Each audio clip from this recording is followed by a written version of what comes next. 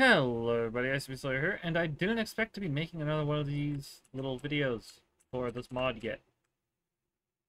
But guess what took multiple days to fucking get approved? Anyway. so yeah, this is my new SCP labels mod thing. It's it's out now, it's finally out. There will be a link in the description if you don't for those who don't want to go back and check. I'm just making this video. I was gonna do like a FNAF thing, but I need to gripe for a minute about how fucking annoying it was to get this out. So every time I put up the mod, it would say, hey, you need to change this, this, and this about the description to be approved. I was like, okay. And then I realized that literally everything that wanted me to change is what's in a normal mod description. Like, one of them said, you can't have video links in your mod description. Just, what the fuck? Who doesn't have a mod tutorial link in the description? I mean, other than, you know, people who aren't YouTubers who make mods. But, you know, a lot of them tend to have that. There's a very good reason for it. There's so many, so many stupid things that they kept saying. Like, one of them said, you can't have personal stories in your mod description. Where is the personal story? Because I just talk about how this... The only things I had in the description that would be a personal story would be me talking about how the other mod exists and this was made for it. It just... It irritated me so much. There's so many stupid things I kept saying. One of them was like, uh... What was it? You can't have Oh, yeah. This one really annoyed me. You can't have a tutorial in the description. Like a written out tutorial. Because I had a written out tutorial originally in the description on how the fuck to use the mod. It was like two words like, hey, stick thing in stonecutter, get thing out. Done. That's all that's kinda all the mod does, is you stick thing in stonecutter. You get these out. Boom. Done.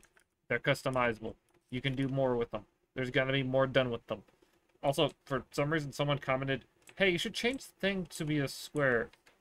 Um, if you're talking, if there were for the for the one who was asking that, I do I do want to point out this diamond here actually has a reason to exist.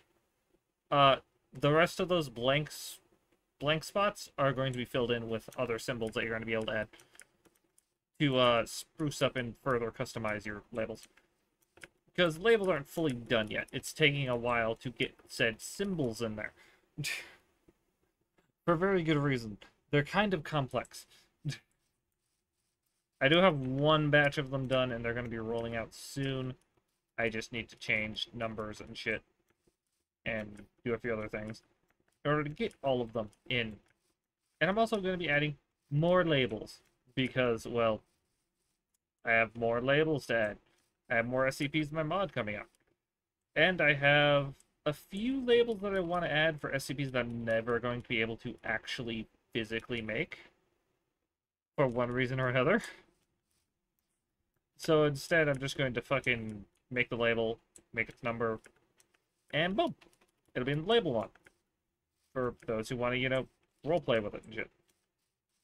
Because that is like a main thing that I think of is, would this be good for like a role play if people are using it for like a server?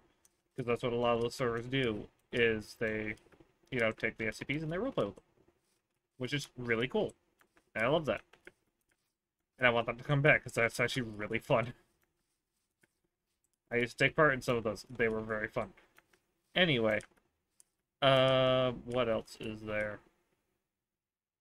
Yeah, apart from the annoyance of putting this onto CurseForge, um, yeah, that's about it. So, um, yeah, mod is out. Link link is in the description.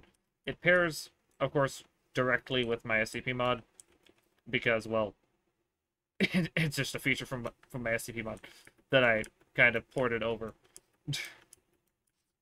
into another mod so that I could actually, you know, have it and not have it take up so much space in my other mod. Because the other mod is going to be very full as I add more and more SCPs. it's already getting a lot fuller because of the SCPs I'm working on.